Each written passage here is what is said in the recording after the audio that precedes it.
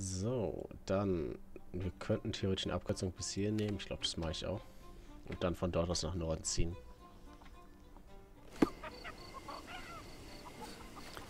So, Norden ist die Richtung.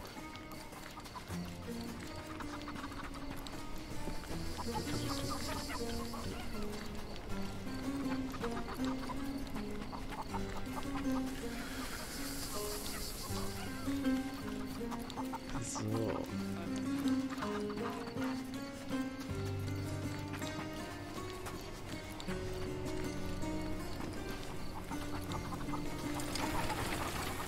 Vom Miners End.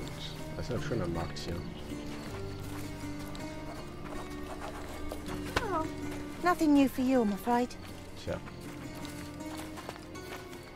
Nutzloser Bengel.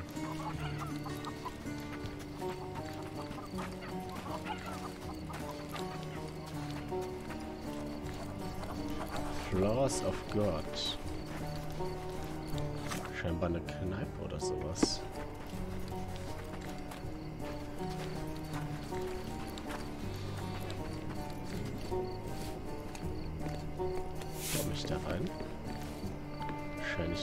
Vielleicht kommt man dann nur rein, wenn du einen bestimmten Fall hast.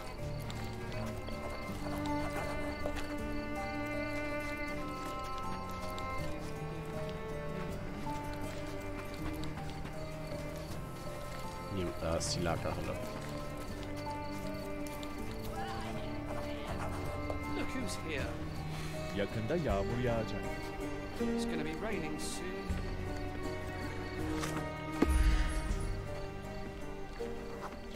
Schwedischer Mörder. Leichter Hitzschlag.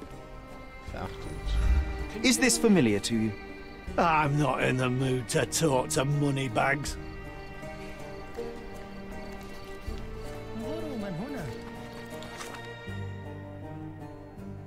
Achso, ich bin noch gar nicht weit genug. Ich muss noch weiter.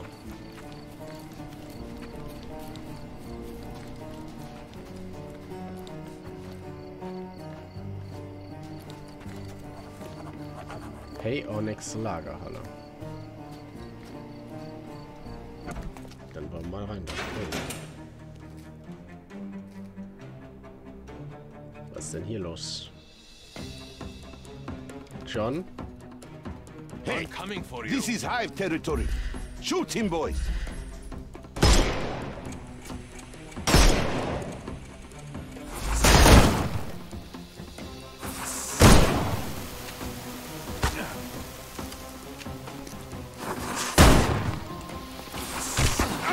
Overcome him, don't... Don't miss the party. No more crime for you until next month.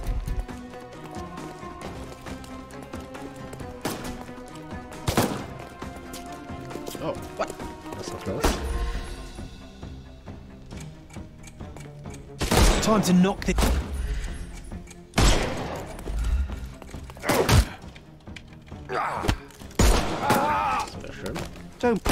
Give him the pepper snuff. I'm gonna hurt you.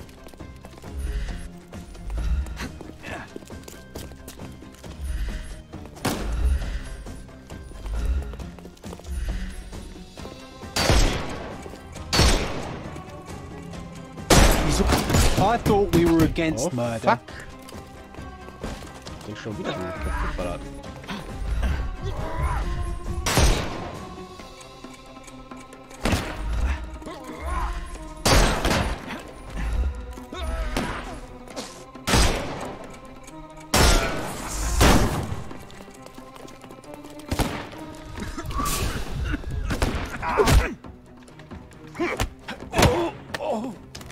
I couldn't miss the party.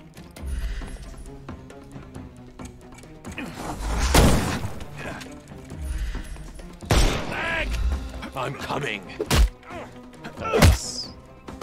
Don't bother moving. You've lost.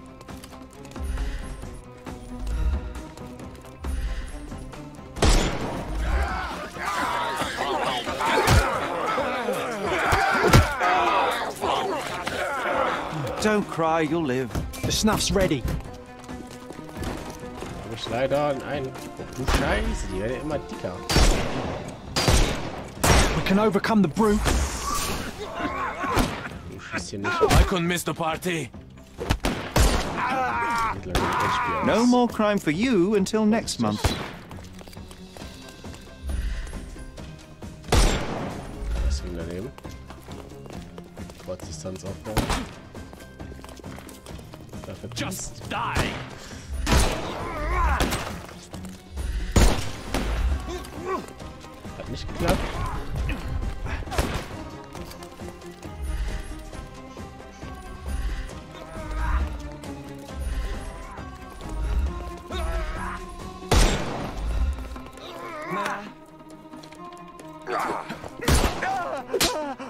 Don't bother moving.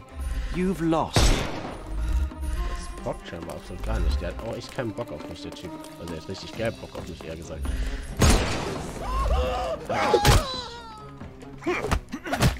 Give him the pepper. Take a rest, my f- The snuff's ready. Scheiße. Leider habe ich einen Headshot gegeben. Ah, neuer Eintrag. Das ist schon das Tagebuch. Bin mal gespannt. Äh, ich verstehe nicht, was mit Sherlock los ist. Wenn er zum tödlichen Schuss ansetzt, ist das etwas in seinen Augen, das mich ängstigt. Grundbesitz von... Jo, das haben wir. Der Schlüssel zum Büro von High Onyx Lagerhalle. Aber es tut mir doch so leid schon.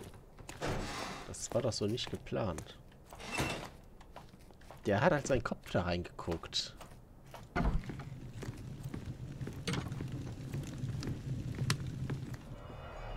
Da wurde was verbrannt wahrscheinlich, oder? Someone's been burning papers, I see. Das ist nicht gut. Da haben wir noch ein Stück Zettel.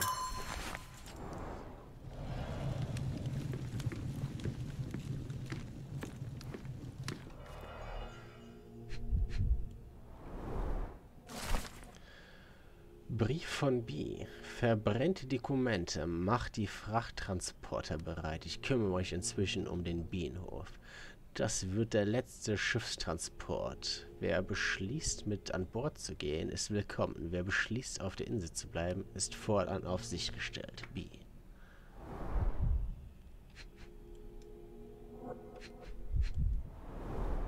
Hmm. Everything knits together. Notiz mit Schmutzflecken. Ich kann dir keine Männer geben, Karl. Wir sind genauso mit Packen beschäftigt wie ihr. Meiner Meinung nach macht der Boss einen großen Fehler. Jetzt, wo die Insel fest in unserer Hand ist, bricht er hier die Zelte ab. Das ergibt doch keinen Sinn. Und was soll das mit den Briefen? Er ist bisher nie direkt mit uns in Kontakt getreten. Es wäre töricht, sich mit ihm anzulegen, aber die Insel verlässt aber die Insel verlassen werde ich auch nicht. Hier gibt es noch viel zu holen. Bienenstock hin oder her.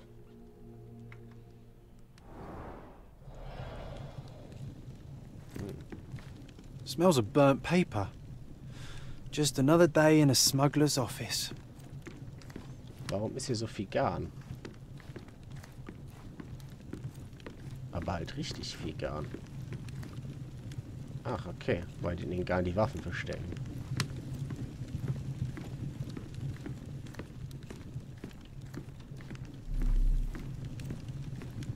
Achso, habe ich da nicht gerade drauf gedrückt?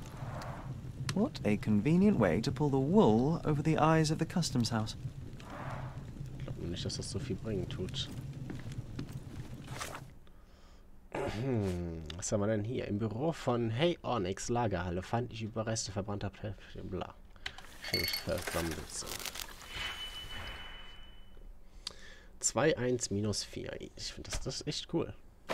Meine, das hier machst du zack, dann machst du das raus, zack, hast du minus 4. 2 und 1 kannst du aus... Wie kriegen wir das denn hin? Wir haben Rot und wir haben das hier. Das heißt, du kannst einmal...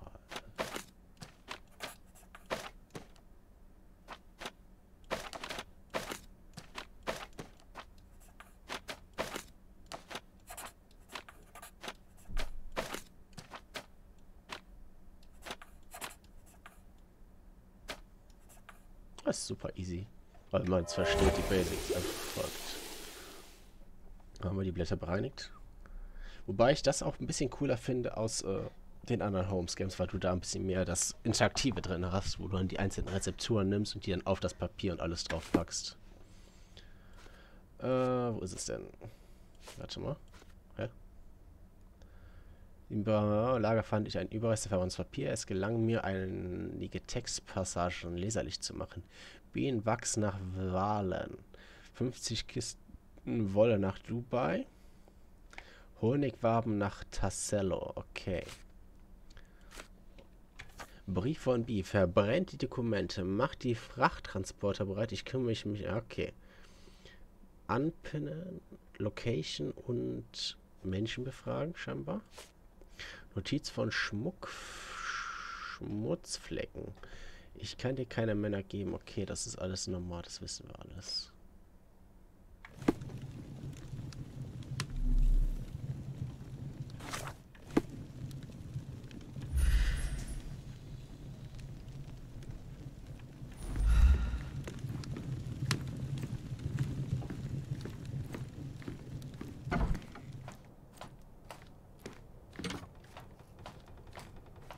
Ich weiß halt immer nicht, was diese Symbole bedeuten, alle. Das ist ein bisschen blöd.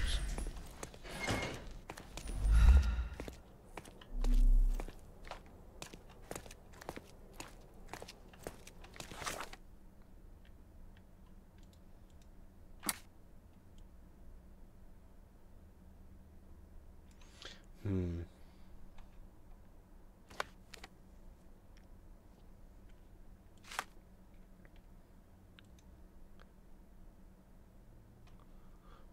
Um die Technologie noch. Das äh, Schiff sonst bla bla bla. Ist fordernd auf sich selbst gestellt. B. Menschenmassen befragen. Ich weiß nicht, was diese Dinge heißen. Das ist da keine...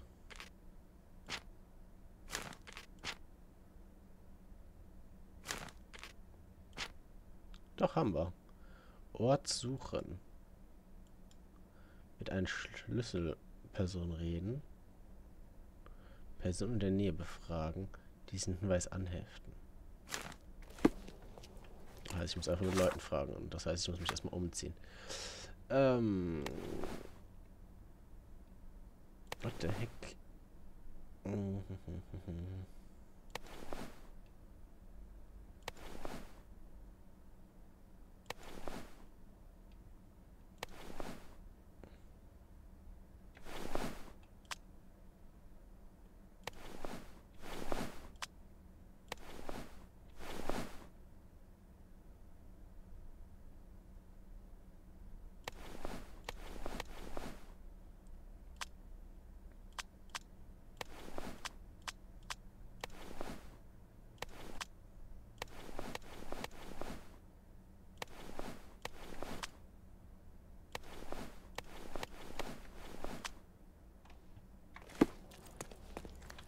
Ob wir draußen was finden. Ort aufsuchen. Welchen Ort? In dem Bienenhof. Scheiße, ich muss erstmal Leute befragen, ob die irgendwas wissen.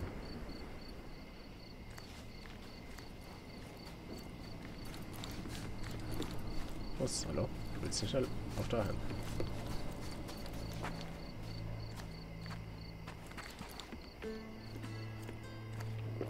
May I ask for your assistance? Hey, you're a lucky man.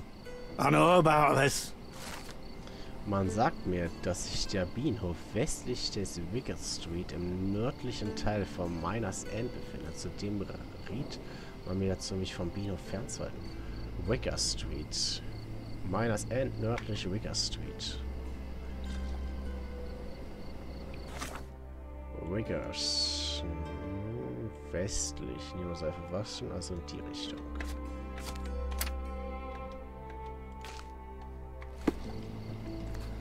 Ich hier drüber? Nice.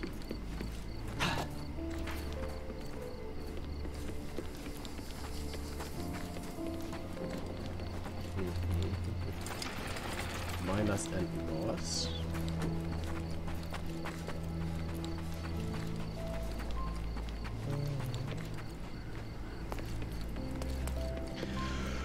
Wo? habe ich Spiel ruhig. Statue of a buckled cage inside a city full of criminals. Let's take a closer look, Sherry. Ein Denkmal bei den Silberminen. A statue of a buckled cage inside a city full of criminals. Let's take a closer look, Sherry.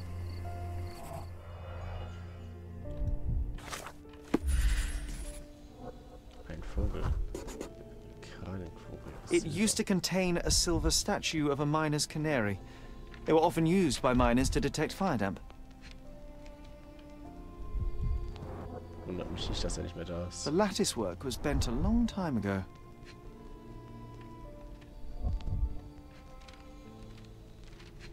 Da ist was reingeschrieben.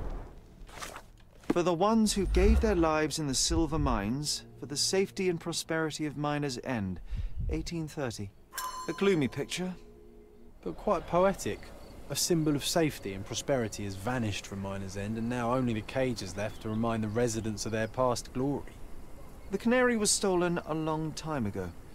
There's no hope in finding it now, but perhaps someone might know at least something about it. We should ask the people around here. Guck mal, Araber. Wir uns direkt umziehen? Haben nicht ganz viele coole Araber-Klamotten. Das hier.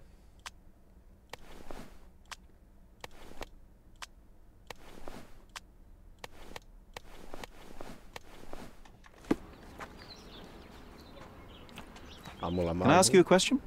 Men like me don't like to be bothered by strangers. Leider nicht.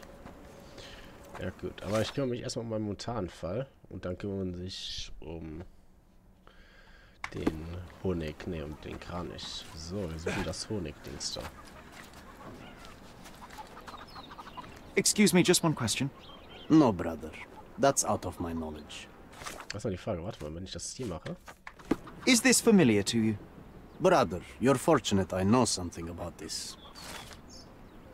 Ähm, das behalte ich erstmal, das sehe ich mir noch nicht durch, weil ich diesen Fall noch nicht nachgehen werde. Ich habe es jetzt nur mal mitgenommen, weil ich schon direkt vor Ort hier bin. So. Ah, ich schätze mal, hier ist unser Honigdings da, ne? May I ask you something? You're not a smart person, are you? I don't care about your business.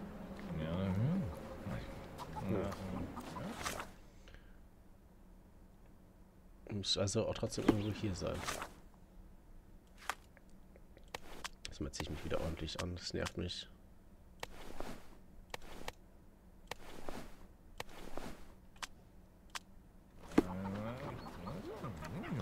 Ich gehe mal davon aus, dass das hier das Richtige ist, oder? Nicht? Oh, da oben. Bienenhof.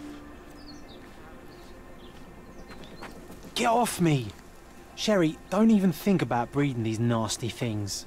Ugh. Get off me! Sherry, don't even think about breeding these nasty things. Ugh.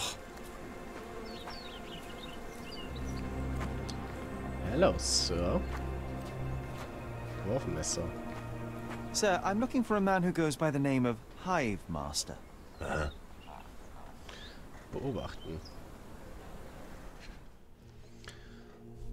Ein alter Mann. Schräg sitzender Hut verbirgt fehlendes Ohr.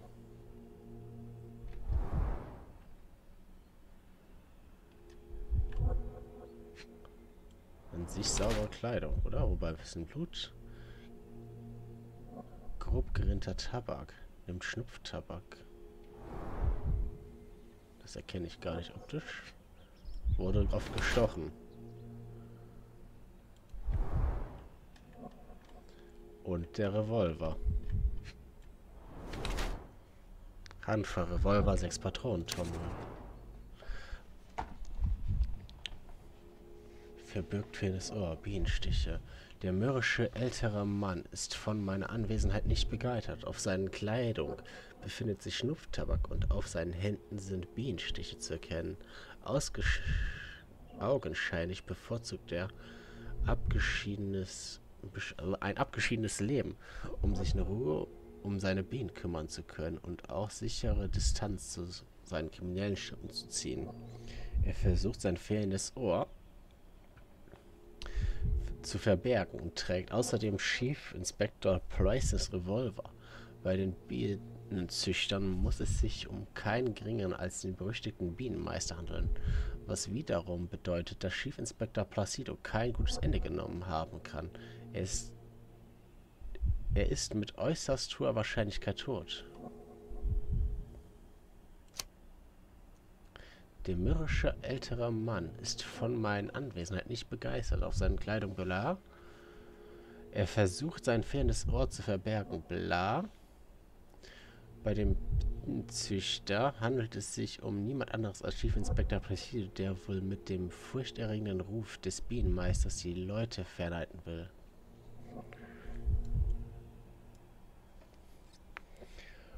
Und genau das wird es sein. Er will in Ruhestand, darf es aber nicht. Das kann nicht zugelassen werden. Wieso ihm ein Ohr fehlt, das verstehe ich nicht. Schnupftabak hat er wie der andere auch. Also wie im Ohr, also im Büro. Sein Revolver hat er mitgenommen aus guten Erinnerungen und zur Selbstverteidigung. Warum hat sein, er sein Ohr in sein Büro gelassen?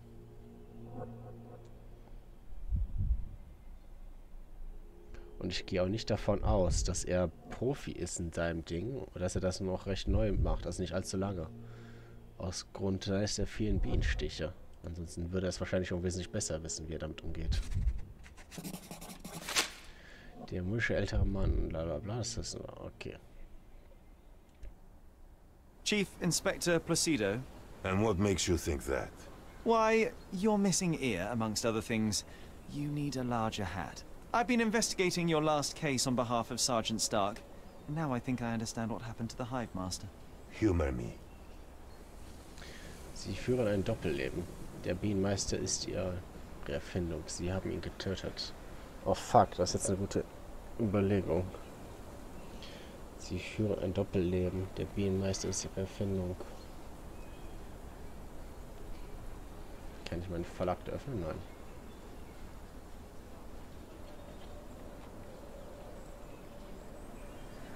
You invented him. An imaginary nemesis to whom you attributed real crimes. What? Why would anyone make up an imaginary... anyone? No. I killed this one. As simple as that. But why? Everyone deserves a trial. Wasn't my choice. He and his thugs attacked me when I went to arrest them. It was a kill or be killed kind of situation. Turned out for the best, though. With his cronies dead, not a soul knows what the Hive Master looks like. His own gang, scared stiff of him.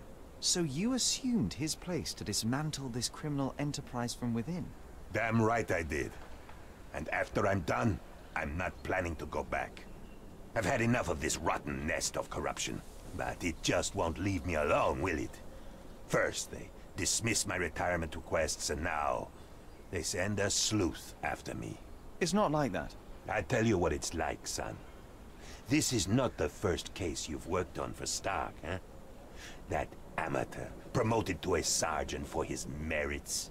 I don't think so. You're not an officer. But from what I can see, you are much brighter than the lot of them. So what's your stake in this? You some sort of consulting detective? Hmm. Yes. Yes. I suppose you could call me that. My name is Sherlock Holmes, at your service. Then do me a service, Mr. Holmes. Drop this case and don't tell anyone you saw me here. Let me enjoy my retirement in peace. Eine Frage, warum Bienen? Ich denke über den bitte nach. Ich habe ihr Ohr. I, um... I have your ear. What the hell? Give it to me now. All right, but let's make it a fair exchange, shall we? Ich tausche gegen Bienenstöcke. Ich tausche gegen ihren Revolver. Bienenstöcke wären interessant, weil John keine möchte. Revolver wären gut für den Fall, um zu sagen, dass er tot ist, weil wir einen Revolver gefunden haben.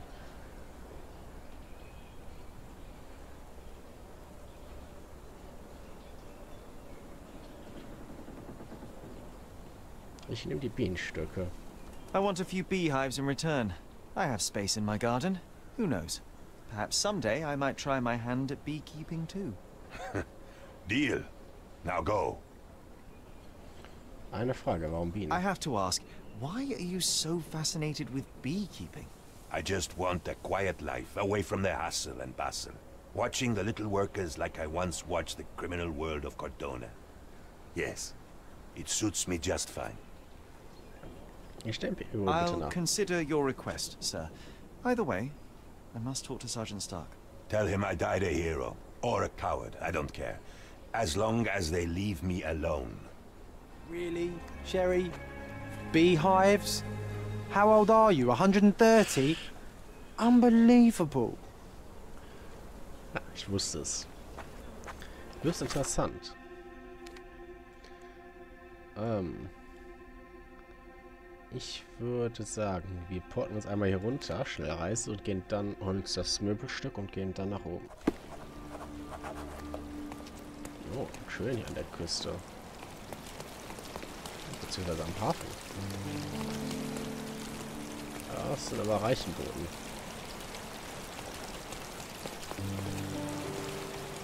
Ach, schade. Das wäre schön. So, muss ich denn hin hier? Ich muss nach links. Dort soll wohl der Möbelhändler sein. Kleidungshändler. Simply the best garments on the island. The finest clothes for the finest citizens. Zeig mal her, was du hast. Du hast aber... Oh, doch. Aber scheint mir eher, dass mit der Zeit einfach mehr freigeschaltet wird.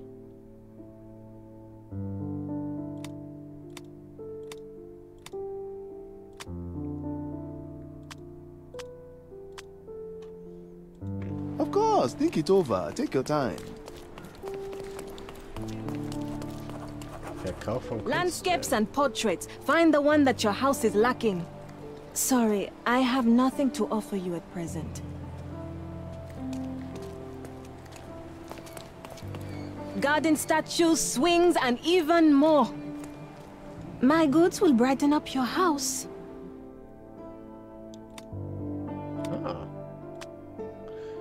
David und Goliath, eine Statue, die die Stärken kleiner Menschen äh, repräsentiert. Kauf einfach mal alles, würde ich sagen. Enjoy your purchase. Interessant. So, dann würden wir sagen, gehen wir jetzt wieder zurück ins Polizeibüro. Nicht wahr? Hier längs. Ja. Jetzt ist die Frage, werden wir ihn verraten oder werden wir ihn in Ruhe lassen? Ich meine, er hat jahrelang ordentlich gedient. Eigentlich verdient er sich seinen Ruhestand, würde ich sagen. Des Weiteren hat er einen großen Verbrecher hingerichtet.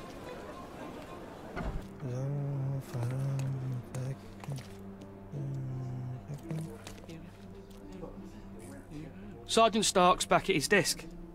Across from the Chief Inspector's office. Achso, du bist jemand anderes. Ähm. Um, Chief Inspector.